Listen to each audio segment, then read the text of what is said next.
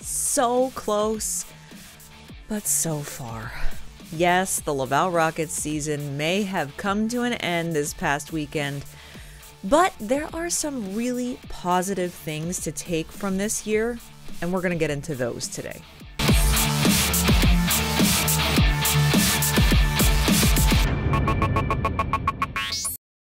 We can certainly say it right out of the gate. This season did not go for the Laval Rocket the way a lot of their fans and the team themselves would have liked it to, perhaps expected it to, and they certainly put up a good fight down the stretch. Uh, it came so close. In fact, it really truly came down to the final two games of the season. We're going to talk about those two games in just a moment, discuss how the season ended and how things went down last weekend against the Belleville Senators. But then I want to shift focus to a more positive aspect of what can we take from maybe not quite the most successful season for the Montreal Canadiens AHL affiliate, but what are the positive things that we can take away and build on and look forward to in the coming months and certainly next year. After an entire season and a lot of recent weeks of nail biting, edge of the seat, watching every single game going in the North Division to see who got points, who didn't, who got who moved up, who didn't, what's the magic number. It all came down to two games last week for the Laval Rocket, both against the Belleville Senators. Remember, Belleville had a game in hand left on Laval on Wednesday night, and they actually won that game on Wednesday night. And so that put them four points ahead of Laval going into Friday and Saturday's two game home and home series uh, to wrap up the regular season. So Laval was sitting in sixth place, four points behind Belleville. And that meant Laval had to win both games in regulation in order to tie Belleville and Laval, because they had more regulation wins on the season, would then win the tiebreaker and earn that fifth position, that final spot to qualify for the playoffs and the best of three play in round. Laval started this series, uh, this home and home series on the road in Belleville, and I think this probably worked to Belleville's favor because we know what the crowds in Laval have been like. It is a hostile barn to come into, particularly for division rivals in big games, and it can be pretty uh, intimidating and distracting for visiting teams. But for Laval to start in Belleville, it's a smaller arena, um, and so it's it's a little bit quieter. Um, doesn't mean to say at all that Belleville's fans aren't just as passionate about their team because they are but it certainly gave Belleville a little bit of an advantage. But you wouldn't necessarily know that at the start of this game with everything on the line. If Belleville could even get one point, if they could force overtime in that Friday night game, that would basically be it for Laval. They would eliminate Laval. So Belleville was looking to clinch a playoff berth. Laval was looking to save their season and have it all come down to Saturday night's game. To their credit, Laval had a lot of rookies in the lineup on this night. Uh, Luke Tuch coming in to make his debut. Uh, David Reinbacher, of course, was in the lineup. Florian Xhekaj was in the lineup. Uh, also, don't forget, Jayden Struble had been sent back. Justin Barron had been sent back from Montreal. Joshua Roy had been sent back and cleared to play. Uh, lots of reinforcements that had come down from Montreal. Uh, and so there was a good contingent of of players available in this game, and it was Laval who actually scored first. Mitchell Stevens back on the ice from injury, got the first goal of the game in the first period, and that did a lot for Laval's bench, and it seemed to almost set Belleville back on their heels a little bit because they really struggled to get anything going in the first period. And in fact, Laval extended their lead in the second period when Lias Andersson potted a goal that put Laval up two to nothing in the second period. And I think there were a lot of fans on Laval's side who thought, oh, they've got this in the bag. And a lot on the Belleville side thinking, uh oh, this is not going to end well. For Belleville to try to mount a two goal comeback um, against a surging Laval team, typically within these two teams, has not usually been successful. But not long after Lias Andersson scored that goal, Wyatt Bongiovanni got one back for Belleville. And that something about that goal shifted everything in Belleville's favor, and the momentum shifted into Belleville's favor. But both teams kept battling, and there wasn't a whole lot going on. There weren't getting a ton of chances at either end of the ice. This went into the third period with Laval still up 2 to 1, clinging to the hope that they could just maintain at least that one goal lead and live to fight another day back on home ice on Saturday night. But as has happened for the entire season, penalties kept getting Laval in trouble. In fact, Joshua Roy was the first one to get a penalty in this game in the first period for a, a, che- a, a illegal check to the head. He would then be suspended by the league for that incident, and he did not play on Saturday night's game because he was serving his suspension. But Laval kept finding themselves in the penalty box, and late in the third period, Mitchell Stevens took a delay of game penalty. And despite the fact that Belleville had been completely unsuccessful on the power play four other times during the course of this game, only one of them really mattered. And Egor Sokolov managed to tie the game with about five minutes left in the third off that power play because Mitchell Stevens took that delay of game penalty. Well, now the battle was really on because Belleville could taste it. Remember, I said they only needed to get one point, they just needed to force overtime to put Laval out of playoff contention. Laval had to win this game in regulation. In fact, it was so important and so vital for Laval to win this game in regulation. JF Houle pulled Jakub Dobeš, even though the score was tied. A lot of a lot of Belleville fans, a lot of fans in general were th- were were saying, "What is going on? Why would the coach pull your goaltender when the game was tied?" Well, because overtime didn't mean anything to Laval. They had to win in regulation. Laval was trying everything they could, but honestly, Belleville, they were like hungry sharks smelling blood in the water. They smothered Laval. Laval only had six shots on goal in the third period, and then the unthinkable happened. With Dobeš pulled, Laval was trying everything they could to score a goal, win the game before it went to overtime. Puck got loose. Both teams scrambling down towards Laval's net. Looked like Belleville missed their opportunity to pot the empty netter with one second left on the clock. Sokolov snuck in an empty netter with one second left on the clock. And in that second, Belleville punched their ticket to the playoffs, and Laval's season was over.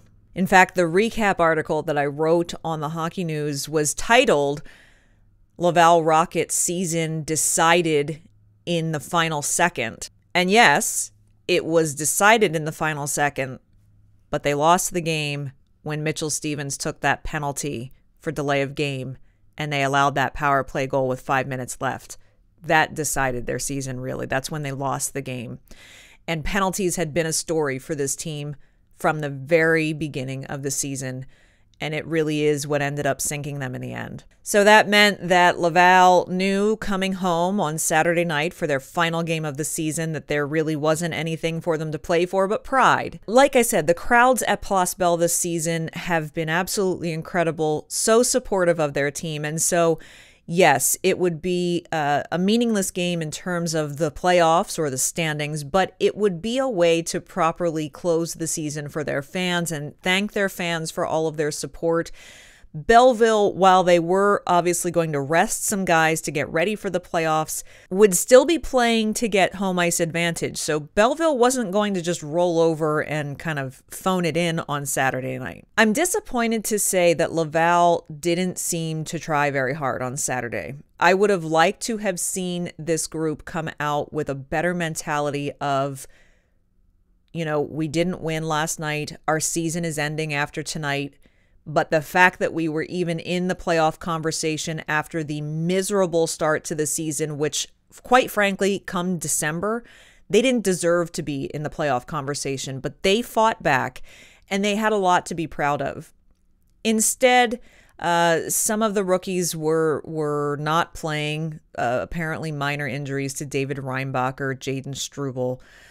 Guys like Riley McKay got back in the lineup. Riley McKay earned himself a game misconduct in the opening two minutes of the game because he decided to just start literally punching guys in the face for no apparent reason and unprovoked. So he got tossed within the first couple of minutes of the game. Uh, and things just kind of continued to devolve from there. Um, it seemed that Laval, instead of taking the high road, just wanted to kind of get their licks in uh, at the end of the season. And I found that very disappointing. Uh, they also didn't seem to be trying very hard. And in fact, it Belleville ended up beating them again on home ice. How often did that happen this season that Laval would lose on home ice, particularly to Belleville? The game started similarly. William Trudeau was the one who scored the first goal of the game in the first period, put Laval up 1 to nothing. Neither team scored in the second. There was, you know, some more penalties in the second, but in the third, uh, Belleville was able to tie the game very early in the third period, and a couple of minutes later, uh, actually got a go ahead goal on, oh, a power play. And that was going to be it. Uh, once Belleville got ahead in that game, it's almost like Laval just gave up at that point and just got really testy and frustrated. And that's basically what you got for the rest of the game. So, with that, Laval's season uh, did come to an end. They had their end of season exit interviews the very next day. Kind of your run of the mill interviews. The big question really is JF Houle's contract is now up at the end of this season, and so it is not yet determined as to whether or not the Canadiens will extend him or not. Uh, according to JF Houle, they haven't begun those discussions yet. Um, it will be interesting to see if they sign JF Houle for a new contract or not. Uh, or if Kent Hughes and company will decide that they'd like to bring uh, someone of their own in to coach the AHL franchise, keeping in mind, of course, that JF Houle is one of the only, JF Houle and his assistants are, are some of the only pieces left from the previous administration that Kent Hughes and Jeff Gorton did not change when they came into the organ to the Montreal Canadiens organization. So it is Belleville who is going to be playing Toronto for the best of three play-in round in the North Division. Um, the winner of that series will go on to play the Cleveland Monsters in the semifinals. The other semifinal matchup will be Rochester versus Syracuse. But I don't want to be Debbie Downer today because there's actually a lot of really positive things to take from this season in Laval. You know, at the start of this season, we put out a lot of viewer warnings. This is going to be a young team, and the focus is supposed to be on development. So don't expect them to make the playoffs. Don't expect them to do wonderful things. Now, granted, they had more of a rough start than I think even I was expecting. Uh, but a lot of that just had to do with the off-season personnel choices for some of the veteran placements on the team. And I was very vocal about that at the beginning of the season as well, that I didn't think that they made great signing choices uh, of more experienced players at the beginning of the at the beginning of the season and over the summer. So I'm not exactly upset that they didn't make the playoffs because I'm more pleased to see that there are rookies and prospects on this team who made some really serious strides forward in their development this year. And that is the purpose of the AHL team to start to shape the next generation of the Montreal Canadiens so that the, the, Canadiens can continue their rebuild and eventually compete for a Stanley Cup. And there are some of the guys that played on this team this year who are going to be a part of that at some point. Jakub Dobeš is one of those. We're going to talk about him in a moment. Logan Mailloux absolutely is going to be part of that puzzle as well. Joshua Roy, we will see how he uh, works out, but we've also got prospects like Sean Farrell, Riley Kidney. Uh, Jared Davidson, Jayden Struble spent most of his season in the N- in the NHL this year. Uh, David Reinbacher has just joined uh, the team as well. Luke Tuch just getting there. Florian Xhekaj just getting there. Uh, there are a lot of positive things to take away. If we think back way to the beginning of the 2023 24 season, goaltending was shaky at best. not through the fault of Jakub Dobeš. It was his rookie campaign, needed some time to settle in and adjust to the AHL slash pro game.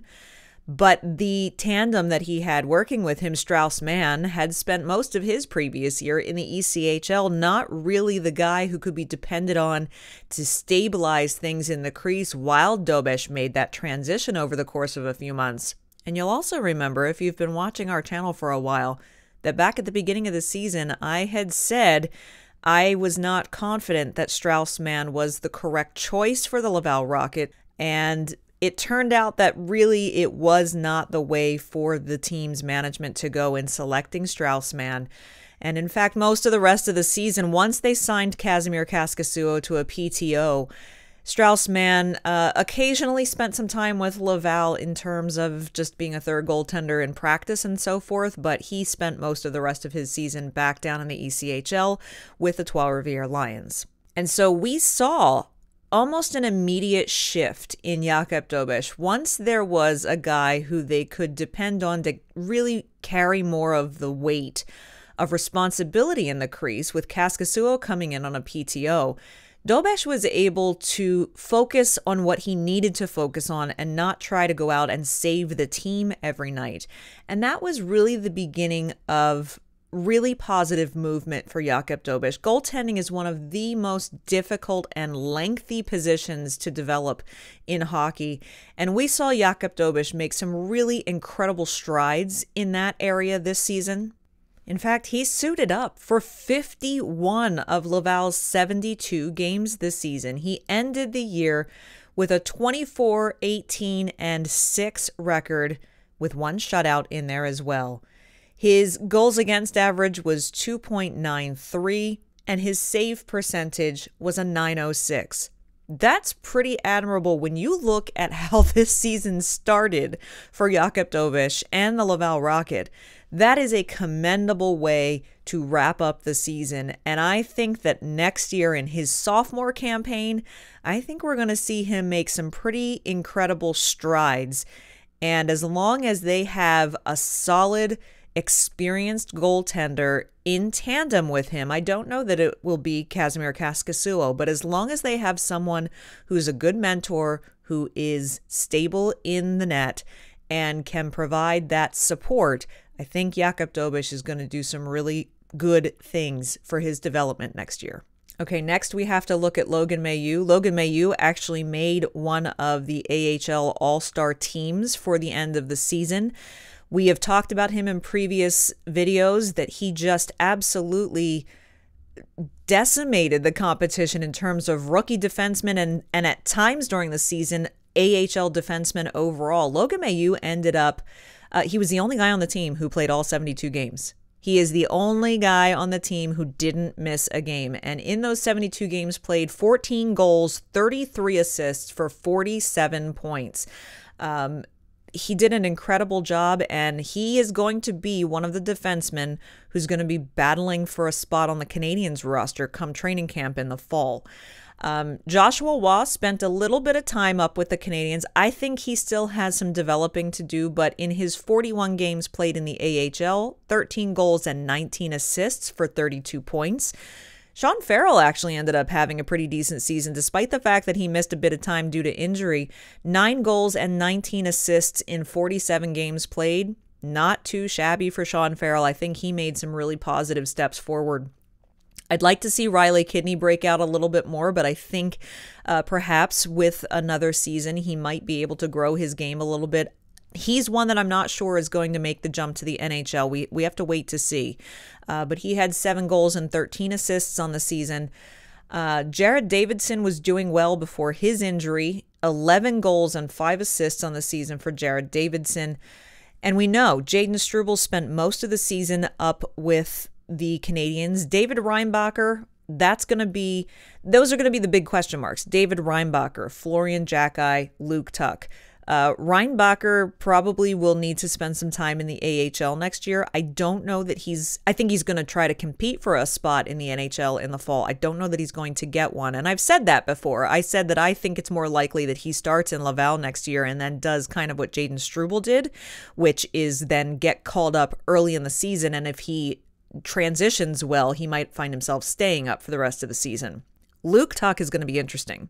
Luke Tuch only got to play two games, and they were two games that Laval lost. But Luke Tuch really showed some promise.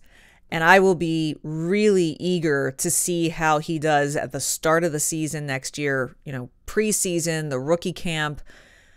I think that he's going to have a strong year. I think he'll spend a decent amount of time in the AHL because he hasn't really played pro hockey much at all. That's just two games.